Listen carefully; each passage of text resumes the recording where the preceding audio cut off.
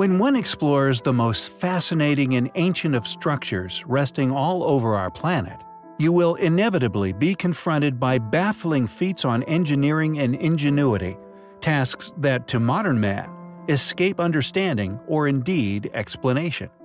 The main consensus regarding these ancient structures has always been a tricky thing to explain. To claim that these marvelous structures were built by primitive people with only primitive tools at their disposal does not only seem absurd to most who have visited such sites, but ignorant of their true past grandeur and the specific characteristics of each of these places. Ancient sites, such as Giza, Machu Picchu, among many others, still contain very confusing artifacts, anomalous evidence, which tells a very different story to that of mainstream history.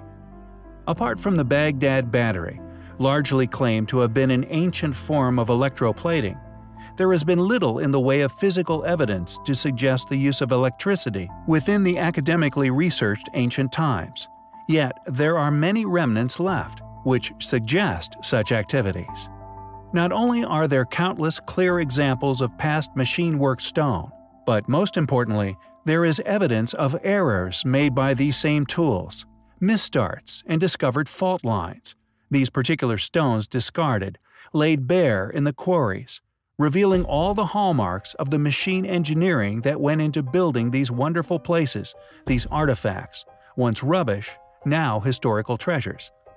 They can tell you the shape and movements of the tools that were being used, showing just how these machines cut into the stones, core drillings also discarded during manufacture, and cut stones discarded due to faults and cracks, revealing the complete preliminary cut marks left by the ancient stonecutters.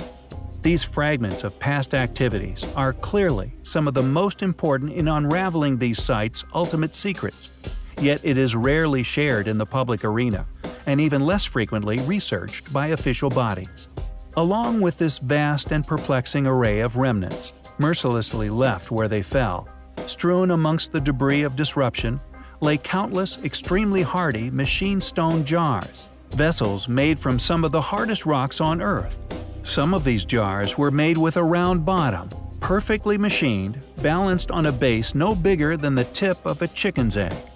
Sir William Flinders Petrie ultimately realized that only lathe turning could have produced the symmetry and balance found on thousands of these bowls and vases. And Petrie was no fool.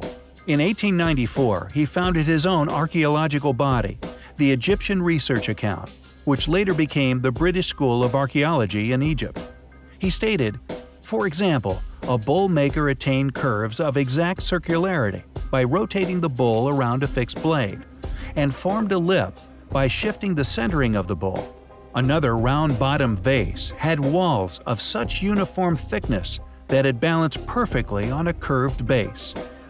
To have a very well-respected researcher and specialist of the ancient Egyptians to admit to a conviction of the use of power tools in these pots construction seems like quite a stunning position to take, especially when one considers that while metal chisels could have been used to shape soft limestone within ancient Egyptian times, the metals that were available to them copper, bronze, and during the first millennium BCE, wrought iron were far too soft to work such rock into such exquisite designs. It seems Petrie would like to remain honest regarding his conclusions, yet also incomplete with his explanations preferring to let the receiver of said information make their own realizations, preferring to avoid complication by a, by this time, rather visible enemy.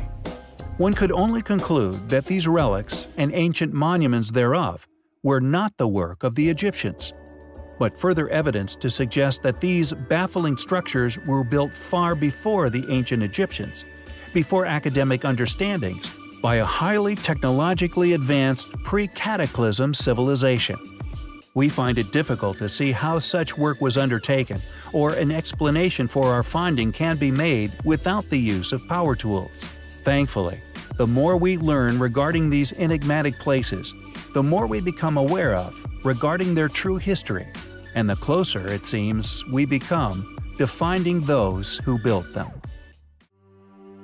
Throughout our time researching ancient antiquities, we have stumbled across many anomalies which, to this day, The questions we have raised regarding these sites have yet to be satisfactorily answered by anyone. How did ancient, seemingly post cataclysmic civilizations accomplish such feats of ancient engineering? Not only are there countless ancient structures found on nearly every continent on Earth that are beyond modern capabilities, but the way in which they were liberated from the quarries and bedrock in which they were sourced, often many miles away, remains a burning question. Furthermore, the clues to these now lost techniques, the knowledge and indeed tools used to create these monstrous megaliths, the fingerprints of these now long forgotten activities still remain all over the hard granites once selected and used. No matter the geographical separation many of these sites share, it seems was not an issue, and they not only match, but as we have previously postulated based on said data, would appear to have been created with not only the same tools and techniques, but by a civilization whose tentacles far outstretch modern paradigms in regards to a single super civilization having once been responsible for these extraordinary acts of ancient engineering. How can we continue to believe such sites were the work of academically shared, subsequently studied in depth, and thus proven civilizations which we now know to have been incapable of such feats? The unfinished obelisk of Aswan, the megaliths of Yangshan Quarry, the polygonal, astonishing feats of the mountaintop temples of Peru, and so on all share the same scars upon the weather-resistant rocks used in said structures. India, China, Peru, Egypt, and so on. Yet interestingly, different stone cutting techniques are found upon different locations, yet seemingly coalesce within Aswan Quarry and other structures such as the Great Pyramids within Egypt. Diagonally cut stones, such as those within Baalbek and much further afield, are present within this quarry within Egypt. However, what makes the location of these massive pyramids special is that from the data, the evidence we have gathered, the structures were either built before said civilizations arrived and subsequently flourished upon our planet, but that these enormous structures were shared, possibly even an intercontinentally shared accomplishment achieved by not one, but many ancient super civilizations which, it would appear, were even more capable than that of modern man. These butter-cut stones, such as the techniques seemingly used upon the abandoned obelisk of Aswan, are shared with many other sites, protuberances found within Peru and many other polygonal sites, are also present upon the pyramids, yet are seemingly much later additions.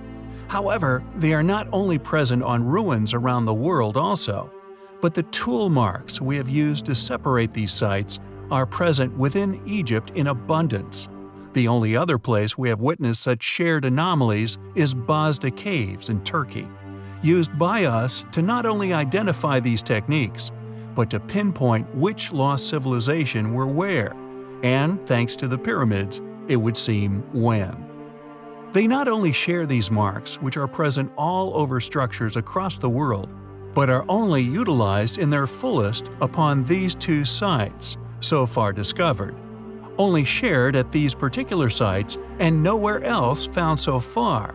However, interestingly, Baalbek seems to also share protuberances with other polygonal sites, but also possesses curious semicircular, crescent-shaped tool marks across its biggest megaliths, as if a less accomplished tool than that used we would postulate later, after these techniques were mastered, as found within Aswan, Sacsayhuaman, and many other, apparently more advanced ruins found elsewhere on Earth.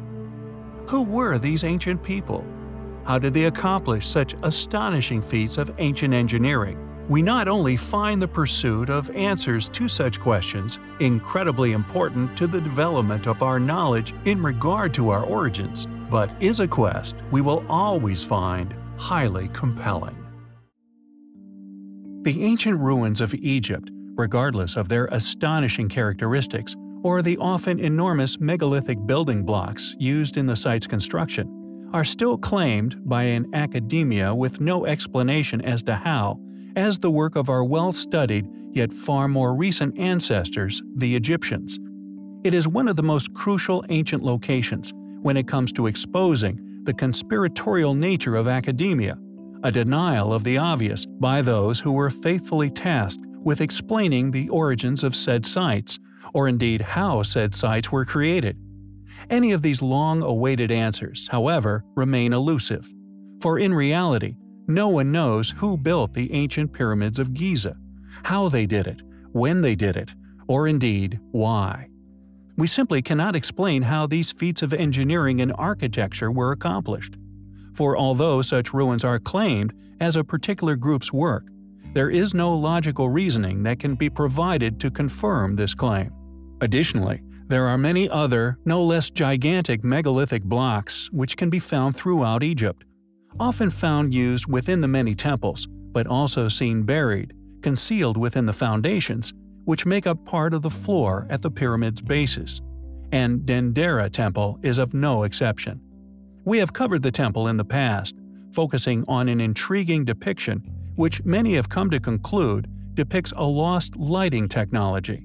Some individuals have now created working replicas of this intriguing device. We have also covered the steps found within the temple. These steps appear to have been melted at some point in the past, rather than simple entropy. The temple, however, possesses many more inexplicable secrets, all concealed from the majority of Earth's population by a field of study that firstly lacks any demonstrative evidence, but also due to the evidence which one can mount to support the positive past stone-cutting power technology having once existed, thus these features are effectively ignored and thus largely overlooked. Copper chisels cannot explain its existence. People who have explored the temple have found that the repeating reliefs within are perfectly symmetrical, identical in form to within millimeters of each other. The leaching of salts between surfaces are the only reasons we can see the joints in the Great Hall. Furthermore, Chris Dunn, a fellow antiquarian, has explored these intriguing clues within Dendera Temple previously. Not only did the precision of the carving stun Chris Dunn, but the finish upon such a brittle stone has led Chris to conclude that high technology was once utilized to create the stone carvings. Who built Dendera? What technologies were used to construct the temple, or indeed ancient Egypt as a whole. Dendera is undoubtedly a jewel in the crown, a now lost antiquity, one which we find highly compelling. Inside a tunnel system carved from the solid limestone bedrock, in the desert of Egypt, lay 24 black granite boxes cut with the precision our modern technologies do not possess shaped from Aswan granite and extremely hard stone. These massive boxes remain a profound mystery for scholars who are unsure as to what their true purpose was, or indeed how old they are. Numerous well-known figures have concluded the hieroglyphics written upon them is of such poor quality it is regarded as graffiti. Many people believe Egyptian kings claimed precision-made ruins as their own. This is one of the main hypotheses put forward for the Egyptians' lack of any records of the pyramid's construction often decorating them in a more primitive form of writing style. The suspected sarcophagi range in weight between 50 and 100 tons. Their real purpose or maybe indeed their function remains unclear, although they were clearly of importance. They were cut with such precision in fact they would have remained airtight for eons. Researchers like Brian Foerster theorize they are clear examples of lost ancient high technology, created before the time of the dynastic Egyptians. Whatever their true purpose was, the truth is that they are beyond magnificent. Well-regarded studies, for example, into the erosion evident on the sphinxes of Giza, have proven to indicate they may be far older than the Egyptian civilizations. By several hundred thousand years, some even claiming they show evidences of past submersions. The Serapeum of Saqqara is located to the northwest of the famous Pyramid of Djoser. This necropolis found near Memphis, Egypt, is believed in modern academia to have been built sometime around 1300 BC by Ramesses II. Just what kind of technology, or indeed what kind of man, could have cut, transported, stacked and placed blocks of stones weighing up to 100 tons on top of each other with such accuracy?